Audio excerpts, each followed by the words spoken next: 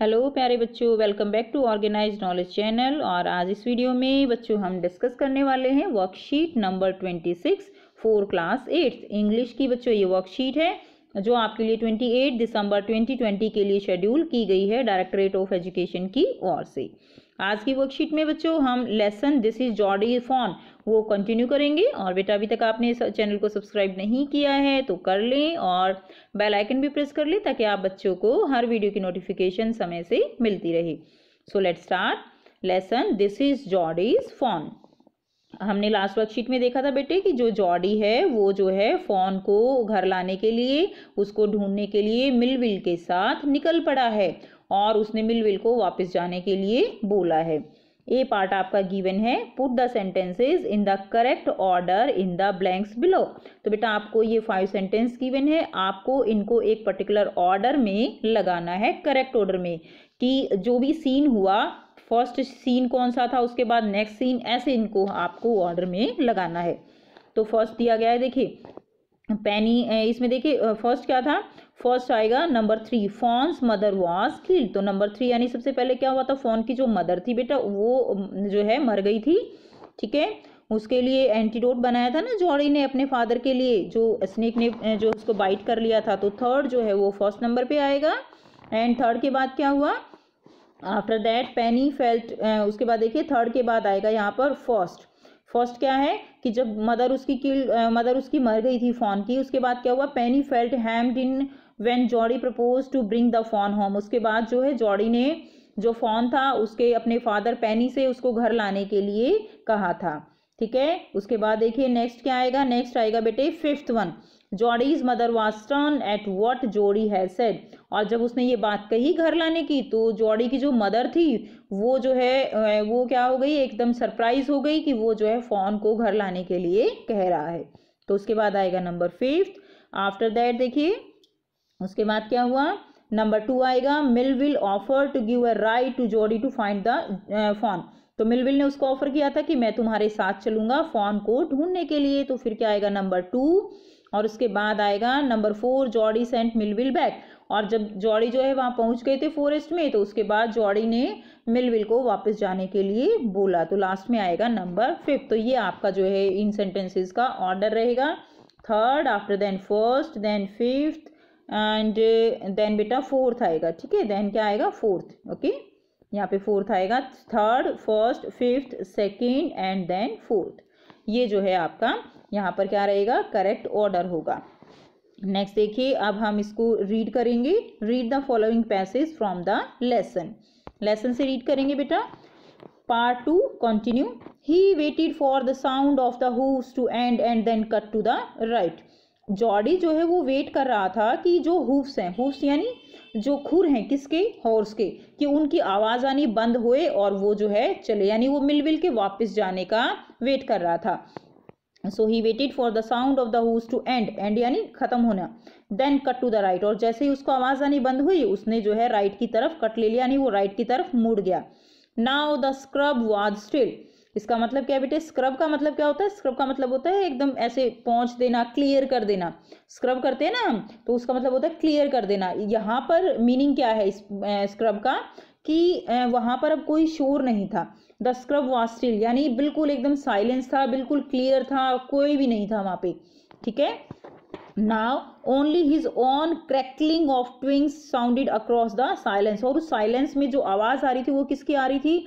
वो crackling of ट्विंग sounded ठीक है? यानी वो जो ट्विंग्स और क्रैकलिंग वो चल रहा था, जो वो झाड़ियों की आवाज़ थी, केवल वही आवाज़ वहाँ पर आ रही थी, जो जोड़ी आगे बढ़ रहा था। He wondered for an instant if he had mistaken his direction एक समय के लिए थोड़ा सा वो घबरा गया, एक एक इंस्टेंट होता है ना, एक क्षण के लिए।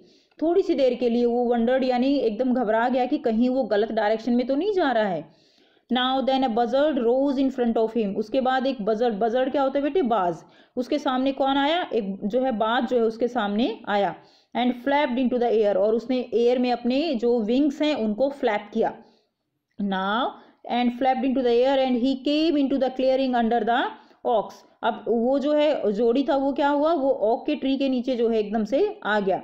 Buzzard sat in a circle around the carcass of the doe अब वहाँ पे देखिए, उन्होंने डॉ को मारा था, ठीक है? फीमेल डियर है, डॉ, उसको मारा था तो उसकी डेड बॉडी वहाँ पे थी। तो बेटा, जब डेड बॉडी ऐसे पड़ी होती है तो जो जो बाज वगैरह हैं, वो क्या करते हैं? वो सब उसको फाड़ के खा जाते हैं मीट जो है उसका। ठीक है? तो यहाँ पर वैसा ही है आप डायग्राम में भी देख पा रहे हो बेटा, कि जो यहाँ पर बजर्ड है, वो सारे ऐसे सर्कल में बैठे हैं, बीच में डॉ की बॉडी है, और वो क्या करना चाह रहे हैं, उसको खाना चाह रहे हैं। Now they turn their head on their long scrawny necks and hissed at him they turn their head उन्होंने अपना हेड जो है वो क्या किया? उन्होंने अपना हेड मोड़कर जैसे और अपनी लॉन्ग जो स्कवनी नेक्स है, यानी इनकी जो नेक है, वो बड़ी लंबी लंबी होती है थोड़ी तो उससे जो है उसने क्या किया? जो जोड़ी है, उसके ऊपर हिस किया and hiss date in hiss यानी ऐसे आवाज़ निकालते हैं ना हिस की तो वो जो है उन्होंने कुछ आवाज़ जो है एक तरह से उसकी तरफ़ हिस किया, यानी उसकी तरफ़ एकदम से ऐसे अपनी गर्दन को पुश किया, ठीक है? He threw his bough at them और उसने जोड़ी ने क्या किया? जो उसके पास बॉ थी। बॉ का मतलब क्या होता है बेटे? यहाँ पे बॉ होती है branch branch of a tree ठीक है? शाखा आप कह सकते हो, छोटी सी टहनी आप कह सकते हो तो उसने जो है he threw his bough at them और उसके पास जो एक टहनी थी, वो उसने उसकी तरफ़ फेंक दी। And they flew into the adjacent tree और वो क्या हो गया? वो वहाँ से उड़कर एक ट्री के ऊपर जो है बैठ गए। ठीक है? यानी वो सारे ऐसे बैठे हुए थे तो उसने जॉर्डी ने क्या किया कि एक जो शाखा है ट्री की, ठीक है? एक टहनी है, उसको इनकी तरफ़ ऐसे फेंक दिया। फेंकने से क्या हुआ? ये सारे एकदम से उड़ गए। उड़ के एक पेड़ जो साइड में पेड़ था एडजेसेंट एडजेसेंट का मतलब होता है नियर बाय तो नियर बाय जो ट्री था, उसके ऊपर वो बैठ गए। ठीक है तो बेटा आप सीन को जो है इमेजिन कर सकते हो कि जैसे क्या हुआ होगा वहाँ पे। उसके बाद देखिए the sand showed large cat prints and ये देखिए ना they flew into the adjacent adjacent यानी जो नियर बाय ट्री है। The uh, sand uh, showed large cat the big cat killed fresh and they had left the door to the carry on birds अब देखिए जो sand है sand यानी वहाँ का जो रेत है वो उसके ऊपर कुछ फुटप्रिंट्स बने हुए हैं।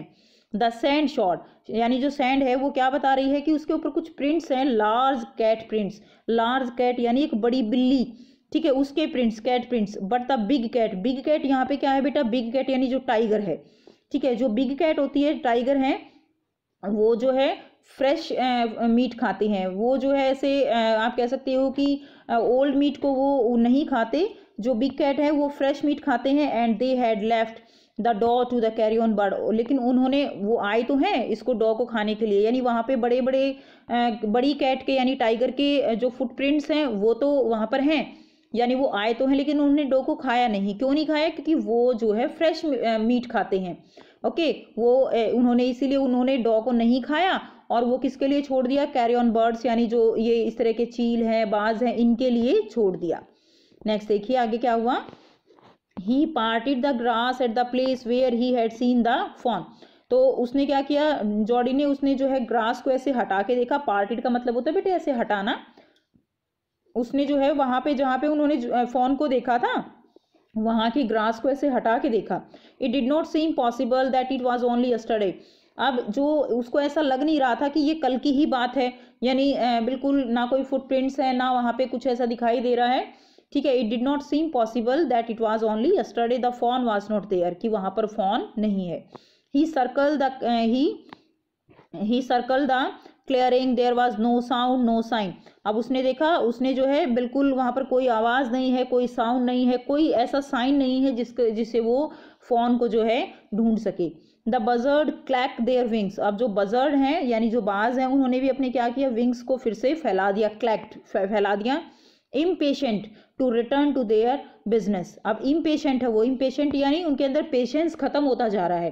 ठीक है, उनको सामने खाना दिख रहा है तो वो पेशेंस कैसे रखेंगे? तो वो क्या हो रहे हैं? इम्पेशेंट हो रहे हैं। To return to their business business क्या है उनका? खाना खाना।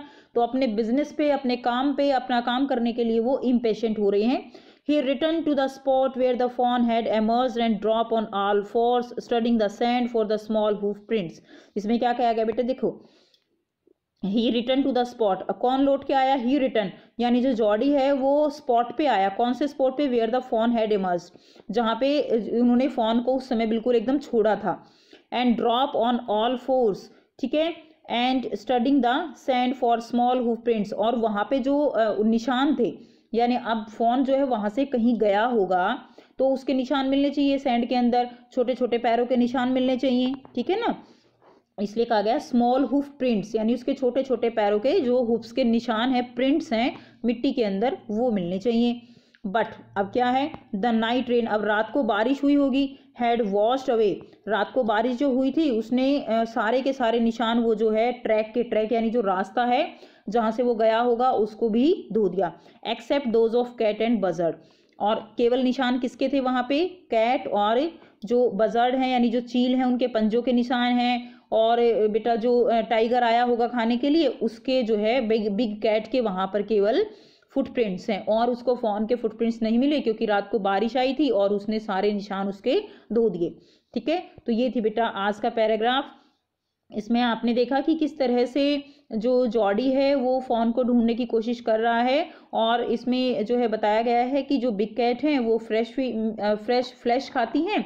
ठीक है, वो जो है बाकी अगर फ्रेश नहीं होती है तो वो कैरी ऑन बर्ड के लिए छोड़ देते हैं।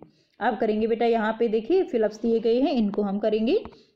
सी पार्ट है ये आपका fill in the following blanks using the hints below तो फ़र्स्ट दिया गया है who was it with that went away on the horse तो हॉर्स से जो है कौन वापस चला गया था?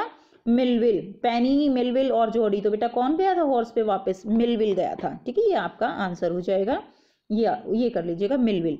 उसके बाद देखिए सेकंड है, Jody was trying to find Jody किसको ढूँढने की कोशिश कर रहा था? Jody was trying to find the phone phone को ढूँढने की कोशिश कर रहा था द फ़ोन थर्ड है, Jody had come to the place where Jody had come to the place where there was a stream of water and he had seen the phone कहाँ आया जॉडी बेटा देखने के लिए? वो आया जहाँ पर उसने फ़ोन को पहले जो है पिछले दिन देखा था। ठीक है? तो he had seen the phone ये वाला आंसर हो जाएगा।